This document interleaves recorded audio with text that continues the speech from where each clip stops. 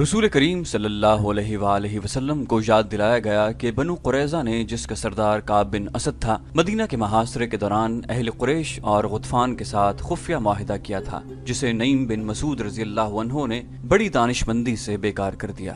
یہ واقعہ بھی دو چار روز پہلے کا تھا، جس میں رسول کریم صلی اللہ علیہ وآلہ وسلم کی پھپھی حضرت صفیہ رضی اللہ عنہ، انہوں نے ایک یہودی مخبر کو قتل کیا تھا۔ یہ مخبر اس چھوٹے سے قلعے میں داخل ہونے کا رستہ دیکھ رہا تھا، جس میں مسلمانوں کی عورتیں اور ان کے بچوں کو رکھا گیا تھا۔ اس یہودی نے ایک عورت کو اپنے مقابلے میں دیکھ کر بڑے روب اور گھمنڈ سے کہا تھا کہ وہ یہودی ہے اور مخبری کے لیے آیا ہے۔ حضرت صفیہ رضی اللہ عنہ نے اس کی تلوار کا مقابلہ ڈنڈے سے کیا اور اسے ہلاک کر دیا۔ خدا کی قسم، کسی صحابی نے للکار کر کہا، ان یہودیوں پر اعتبار کرنا اور ان کی بدعہدی پر انہیں بخش دینا ایسا ہی ہے جیسے اپنے خنجر اپنے ہی دل میں اتار لیا جائے۔ عبداللہ بن محمد بن اسما اور نافع حضرت ابن عمر رضی اللہ عنہ کے حوالے سے روایت کرتے ہیں کہ مارکہ خندق کے خاتمے پر رسول اکرم صلی اللہ علیہ وسلم نے فرمایا، تم میں ہر کوئی نماز اثر بنو قریضہ کے پاس پہنچ کر پڑھے۔ ایک اور حدیث میں ہے، جس کے راوی حضرت انس رضی اللہ عنہ ہیں۔ انہوں نے کہا تھا کہ میں اب تک لشکر جبریل کا گرد و غبار بنو غنم میں اڑتے ہوئے دیکھ رہا ہوں۔ یہ اس وقت کی بات ہے جب رسول کریم صلی اللہ علیہ وسلم بنو قریضہ کو بدعہدی اور دھوکہ دہی کی سزا دینے لگے تھے۔ تمام مورخین نے لکھا ہے کہ رسول کریم صلی اللہ علیہ وآلہ وسلم کے حکم سے مسلمانوں نے چڑھائی کر دی اور بنو قریضہ کی قلعہ بند بستی کو محاصرے میں لے لیا۔ احادیث کے مطابق سعد بن معاذ رضی اللہ عنہ کو بنو قریضہ کے سرداروں کے پاس اس پیغام کے ساتھ بھیجا گیا کہ وہ اپنی بدعہدی کی سزا خود تجویز کریں۔ سعد بن معاذ رضی اللہ عنہ زخمی تھے۔ خندق کی لڑائی میں انہیں قبیلہ قریش کے ایک آدمی حبان بن عرفہ کی برچھی لگی تھی۔ لیث بن موشان، یوہاوا اور یہودیوں کے تین چار سرکردہ سردار ابھی تک کاب بن اسد کے پاس بیٹھے ہوئے تھے۔ جرید بن مسیب بھی وہیں تھا۔ انہوں نے اپنی سازش کا وقت رات کا مقرر کیا، لیکن ایک یہودی دوڑتا ہوا اندر آیا۔ مسلمان آ رہے ہیں۔ اس نے گھبراہٹ سے کامتی ہوئی آواز میں کہا، صاف نظر آتا ہے کہ وہ دوست بن کر نہیں آ رہے۔ گرد بتا رہی ہے کہ وہ چڑھائی کر کے آ رہے ہیں۔ گرد دائیں بائیں پھیل رہی ہے۔ دیکھو، اٹھو، دیکھو۔ کابن اسد دوڑتا ہوا باہر نکلا اور قلعے کے برج میں چلا گیا۔ وہاں سے دوڑتا، اترا اور لیس بن موشان کے پاس پہنچا۔ مقدس موشان۔ کابن اسد نے کامتی ہوئی آواز میں کہا، کیا آپ کا جادو ان برچھیوں اور تلواروں کو توڑ سکتا ہے جو ہمیں قتل کرنے آ رہی ہیں؟ روک سکتا ہے۔ بوڑھے لیس بن موشان نے کہا، اگر محمد صلی اللہ علیہ وآلہ وسلم کا جادو زیادہ تیز ہوا تو میں مجبور ہوں گا۔ تم اوپر جا کر کیا دیکھ آئے ہو؟ کاب بن اسد نے کہا خدا یہودا کی قسم، یہ مخبری نعیم بن مسعود نے کی ہے۔ مجھے معلوم نہ تھا کہ وہ مسلمان ہو چکا ہے۔ مسلمان محاصرے کی ترتیب میں آ رہے ہیں۔ ہم نکل نہیں سکیں گے۔ لیس بن موشان نے کہا، ان دونوں کو نکال دو۔ یوہاوا جریت کو لے کر پچھلے دروازے سے نکل جاؤ۔ میں تمہارے پیچھے پیچھے آ رہا ہوں۔ آپ اوپر کیوں نہیں جاتے لیس بن موشان؟ کا بن اسد نے کہا، آپ کا وہ علم اور وہ جادو کہاں ہے جو آپ بوڑھے لیس نے بات کاٹتے ہوئے کہا، تم اس راز کو نہیں سمجھ سکتے۔ موسا نے فرعون کو ایک دن میں ختم نہیں کر دیا تھا۔ یہ اصا جو تم میرے ہاتھ میں دیکھ رہے ہو، وہی ہے جو موسا نے دریا میں مارا تھا۔ تو پانی نے انہیں رستہ دے دیا تھا۔ یہ اصا کا کرشمہ تھا کہ فرعون کا لشکر اور وہ خود دریا میں ڈوب کر فنا ہو گیا تھا۔ جس طرح موسا علیہ السلام اپنے قبیلے کو مصر سے نکال لائے تھے، اسی طرح میں تمہیں یہاں سے نکال لوں گا۔ یوہاوا اور جرید بن مسیب پچھلے دروازے سے نکل گئے اور لیس بن موشان بھی نکل پڑا۔ مسلمان جب بنو قریضہ کی بستی کے قریب آئے تو عورتوں اور بچوں میں ہڑبونگ بپا ہو گئی اور بھگدڑ مچ گئی۔ عورتیں اور بچے اپنے گھروں کو بھاگے جا رہے تھے۔ کوئی آدمی مقابلے کے لیے باہر نہ آیا۔ جو مسلمان ٹیکریوں کی طرف سے محاصرے کے لیے آگے بڑھ رہے تھے، انہیں دو آدمی اور ایک عورت نظر آئی تینوں بھاگے جا رہے تھے۔ آدمی جو بوڑھا تھا اور عورت اپنے ساتھی کو گھسیٹ رہے تھے۔ وہ پیچھے کو مڑ مڑ کر دیکھتا اور آگے نہیں چلتا تھا۔ وہ لیس بن موشان، جرید اور یوہاوا تھے۔ لیس نے جرید کے ذہن پر قبضہ کر کے اسے رسول کریم صلی اللہ علیہ وآلہ وسلم کے قتل پر آمادہ کر لیا تھا۔ لیکن اب جرید اس کے لیے مصیبت بن گیا تھا۔ وہ اس عمل کے زیر اثر تھا جسے آج ہیپنٹزم کہتے ہیں۔ جوہاوا اپنی محبت کی خاطر اسے اپنے ساتھ لے جا رہی تھی۔ اسے یہی ایک خطرہ نظر آ رہا تھا کہ جرید مسلمانوں کے ہاتھوں مارا جائے گا۔ اور لیس جرید کو اس لیے اپنے ساتھ لے جانے کی کوشش میں تھا کہ اسے کسی اور موقع پر رسول اللہ صلی اللہ علیہ وآلہ وسلم کے قتل کے لیے نعوذ باللہ استعمال کرے گا۔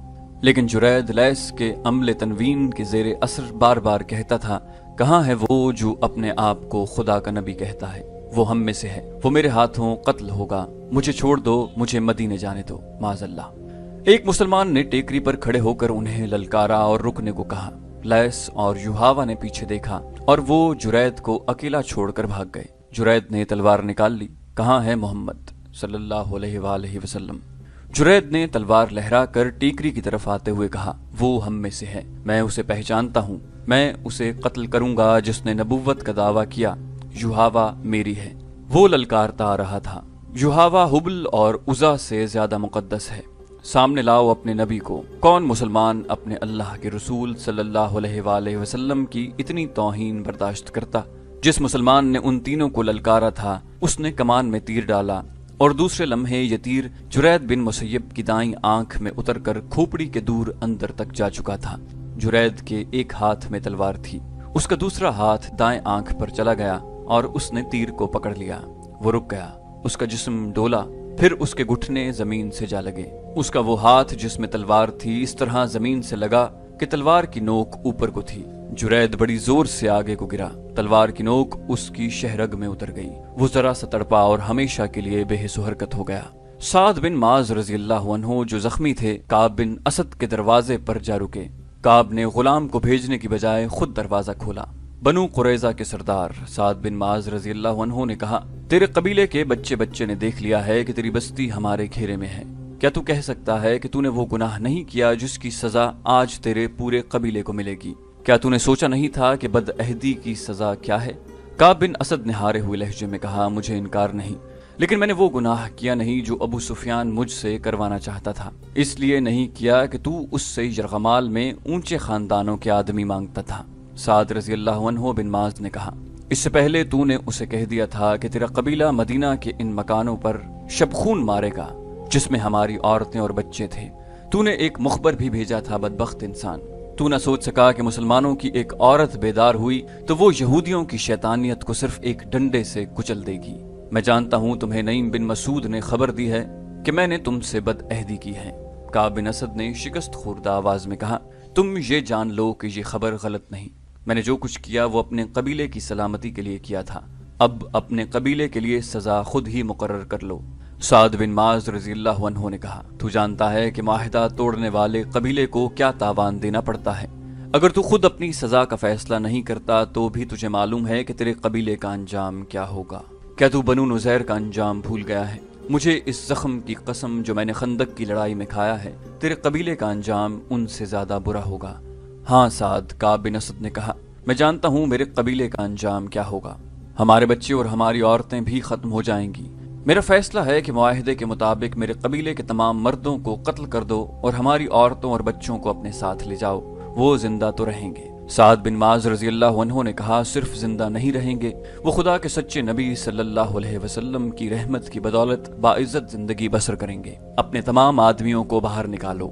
سعد بن معاذ رضی اللہ عنہ واپس آ گئے۔ یا رسول اللہ صلی اللہ علیہ وآلہ وسلم، انہوں نے رسول کریم سے کہا، بنو قریضہ نے اپنی سزا خود مقرر کی ہے۔ ان میں جو آدمی لڑنے کے قابل ہیں، انہیں قتل کر دیا جائے اور عورتوں، بچوں اور بوڑھوں کو اپنی تحویل میں لے لیا جائے۔ سب نے دیکھا کہ بنو قریضہ کے لوگ قلعے سے باہر آ رہے تھے۔ محاصرے میں سے کسی کو بھاگ نکلنے کا موقع نہ ملا۔ مورخوں نے لکھا ہے کہ یہودیوں کی تاریخ فتنہ و فساد اور بد عہدی سے بھری پڑی ہے۔ اسے خدا کی دھتکاری ہوئی قوم کہا گیا ہے۔ ان کے ساتھ جس نے بھی نرمی برتی، اسے یہودیوں نے نقصان پہنچایا۔ چنانچہ بنو قریضہ کو بخش دینا بڑی خطرناک حماقت تھی۔ مسلمانوں نے اس قبیلے کے ایسے تمام آدمیوں کو قتل کر دیا جو لڑنے کے قابل تھے۔ اور بوڑھوں عورتوں اور بچوں کو اپنی تحویل میں لے لیا۔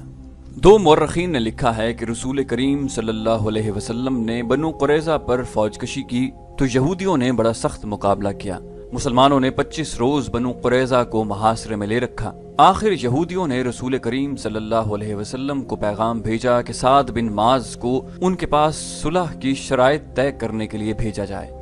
چنانچہ سعد بن ماز رضی اللہ عنہ گئے اور یہ فیصلہ کر کے آئے کہ بنو قریضہ کے آدمیوں کو قتل کر دیا جائے اور ان کی عورتوں اور بچوں کو مال غنیمت میں لے لیا جائے۔ جن یہودیوں کو قتل کیا گیا، ان کی تعداد چار سو تھی۔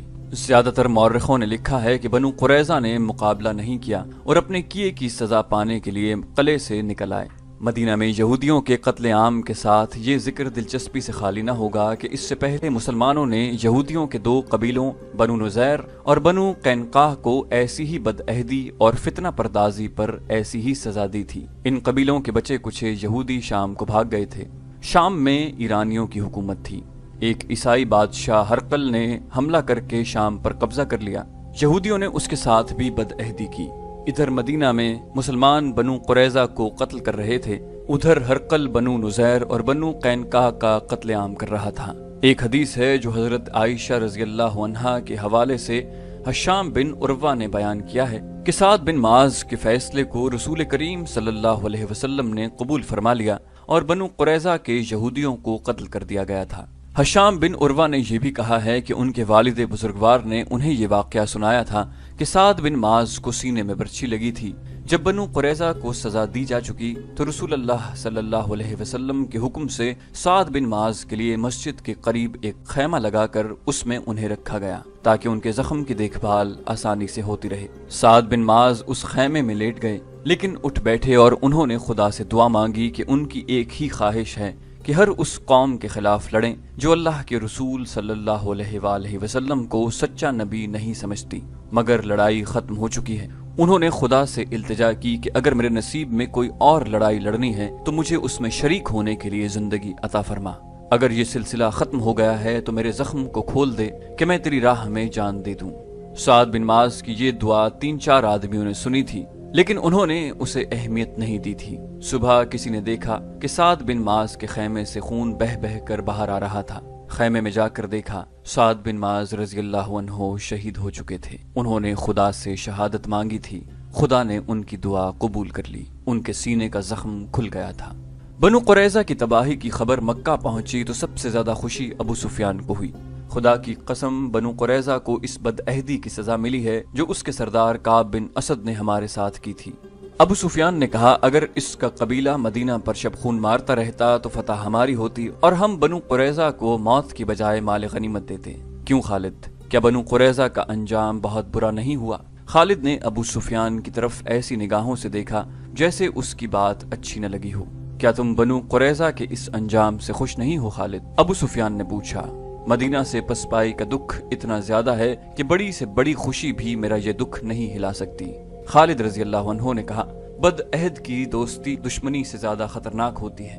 کیا تم مجھے بتا سکتے ہو کہ یہودیوں نے کس کے ساتھ وفا کی ہے؟ اپنی بیٹیوں کو یہودیت کے تحفظ اور فروغ کے لیے دوسری قوموں کے آدمیوں کی عیاشی کا ذریعہ بنانے والی قوم پر بھروسہ نہیں کیا جا سکتا۔ ہمیں مسلمانوں نے نہیں طوفانی آندھی نے محاصرہ اٹھانے پر مجبور کیا تھا۔ ابو سفیان نے کہا، ہمارے پاس خوراک نہیں رہی تھی، تم لڑنا نہیں چاہتے تھے۔ خالد رضی اللہ عنہ نے کہا اور اٹھ کر چلے گئے۔ خالد رضی اللہ عنہ اب خاموش رہنے لگے تھے۔ انہیں کوئی زبردستی بلاتا تو وہ جھنجلا اٹھتے۔ ان کے قبیلے کا سردار ابو سفیان اس سے گھبرانے لگا تھا۔ خالد اسے بزدل کہتے تھے۔ خالد نے اپنے آپ سے عہد کر رکھا تھا کہ وہ مسلمانوں کو شکست دیں گے۔ لیکن اسے جب میدان جنگ میں مسلمانوں کی جنگی چالیں اور ان کا جذبہ یاد آتا تھا، تو وہ دل ہی دل میں رسول اکرم صلی اللہ علیہ وآلہ وسلم کو خراج تحسین پیش کرتے۔ ایسا عسکری جذبہ اور ایسی عسکری فہم و فراست قریش میں ناپید تھی۔ خالد خود اس طرز پر لڑنا چاہتے تھے، لیکن اپنے قبیلے سے انہیں تعاون نہیں ملتا تھا۔ آج جب وہ مدینہ کی طرف اکیلے جا رہے تھے، تو اسے مارکا خندق سے پسپائی یاد آ رہی تھی۔ انہیں غصہ بھی آ رہا تھا اور وہ شرمسار بھی تھے۔ انہیں یاد آ رہا تھا کہ ایک سال کس طرح گزارا تھا۔ وہ مدینہ پر ایک اور حملہ کرنا چاہتے تھے، لیکن اہل قریش مدینہ کا نام سن کر دبک جاتے تھے۔ آخر انہیں اطلاع ملی کہ مسلمان مکہ پر حملہ کرنے آ رہے ہیں۔ اسے یہ خبر ابو سفیان نے سنائی تھی۔ مسلمان مکہ پر حملہ کرنے صرف اس لیے آ رہے ہیں کہ ہم نے ثابت کر دیا ہے کہ قبیلہ قریش محمد صلی اللہ علیہ وآلہ وسلم سے ڈرتا ہے۔ خالد نے ابو سفیان سے کہا، کیا تم نے اپنے قبیلے کو کبھی بتایا کہ مسلمان مکہ پر حملہ کر سکتے ہیں؟ کیا قبیلہ حملہ روکنے کے لیے تیار ہے؟ اب اس بحث کا وقت نہیں کہ ہم نے کیا کیا اور کیا نہیں۔ ابو سفیان نے کہا، مجھے اطلاع دینے والے نے بتایا ہے کہ مسلمانوں کی تعداد تقریباً ڈیڑھ ہزار ہے۔ تم کچھ سوچ سکتے ہو؟ میں سوچ چکا ہوں۔ خالد رضی اللہ عنہ نے کہا، مجھے تین سو سوار دے دو۔ میں مسلمانوں کو راستے میں روک لوں گا۔ میں کرل غیم کی پہاڑیوں میں گھات لگاؤں گا۔ وہ اسی درے سے گزر کر آئیں گے۔ میں انہیں ان پہاڑیوں میں بکھیر کر ماروں گا۔ تم جتنے سوار چاہو لے لو۔ ابو سفیان نے کہا، اور فوراً روانہ ہو جاؤ۔ ایسا نہ ہو کہ وہ درے سے گزر آئیں۔ خالد کو آج یاد آ رہا تھا کہ اس خبر نے اس کے جسم میں نئی روح پھونک دی تھی۔ اس نے اسی روز تین سو سوار تیار کر لیے تھے۔ مسلمانوں کی تعداد ایک ہزار چار سو تھی۔ ان میں زیادہ تر نفری پیادہ تھی۔ خالد خوش تھا کہ اپنے سواروں کی قیادت اس کے ہاتھ میں ہے۔ اب ابو سفیان اس کے سر پر سوار نہیں تھا۔ سب فیصلے اسے خود کرنے تھے۔ وہ مسلمانوں کو فیصلہ کن شکست دینے کے لیے روانہ ہو گیا۔ خالد کچھ دیر آرام کر کے اور گھوڑے کو پانی پلا کر چل پڑے۔ اس نے گھوڑے کو تھکنے نہ دیا۔ مکہ سے گھوڑا آرام آرام سے چلتا آیا تھا۔ خالد بڑی مضبوط شخصیت کا آدمی تھا۔ خالد رضی اللہ عنہ بڑی مضبوط شخصیت کے آدمی تھے۔ ان کے ذہن میں خواہشیں کم اور ارادے زیادہ ہوا کرتے تھے۔ وہ ذہن کو اپنے قبضے میں رکھا کرتے تھے، مگر مدینہ کو جاتے ہوئے ذہن اس پر قابض تھا۔ یادوں کے تھپیڑے تھے جو انہیں طوفانی سمندر میں بہتی ہوئی کشتی کی طرح پٹخ رہے تھے۔ کبھی ان کی ذہنی کیفیت ایسی ہو جاتی جیسے وہ مدینہ بہت جلدی پہنچنا چاہتے ہوں اور کبھی یوں جیسے انہیں کہیں بھی پہنچنے کی جلدی نہ ہو۔ ان کی آنکھوں کے آگے منزل سراب بن جاتی اور دور ہی دور ہٹتی نظر آتی۔ گھوڑا اپنے سوار کے ذہنی خلفشار سے بے خبر چلا جا رہا تھا۔ سوار نے اپنے سر کو جھٹک کر گرد و پیش کو دیکھا۔ وہ ذرا بلند جگہ پر جا رہا تھا۔ افق سے اہد کا سلسلہ کوہ اور اوپر اٹھایا تھا۔ خالد کو معلوم تھا کہ کچھ دیر بعد ان پہاڑیوں کے قریب سے مدینہ کے مکان ابھرنے لگیں گے۔